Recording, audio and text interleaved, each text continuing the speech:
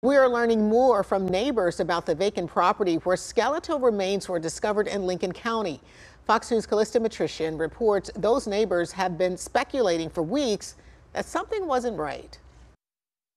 As this investigation continues, neighbors that live right next door tell us they're set to own that property in a few days. They're just happy they aren't the ones that found the body. I had walked through this place three weeks ago and smelled this odor so bad had to walk with my shirt over my face. The peculiar pungent smell coming from the abandoned house next door is something Roger Evans and his brother Reggie have dealt with for over a month.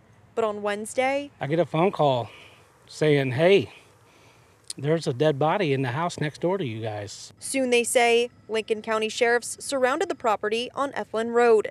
It's where they found the skeletal remains of the deceased person after receiving a tip. Due to decomposition, authorities say it could take longer to identify the person and how long they've been dead. Every now and then you see a car over there and people like dump stuff.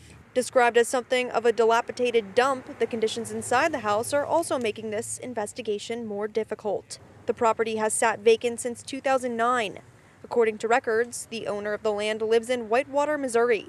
The Evans say he hasn't been there for some time, and the last time they spoke with him was in regards of taking over ownership of the property. We are in the process of buying it. Uh, we do uh, close on it Tuesday. As Lincoln County continues to investigate, dental records and close observations from medical examiners could provide more clues. They say that tips from the community could be helpful.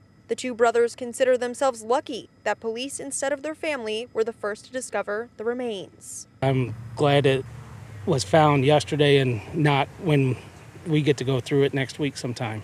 The sheriff's office tells me they've brought in an anthropologist to assist in this investigation.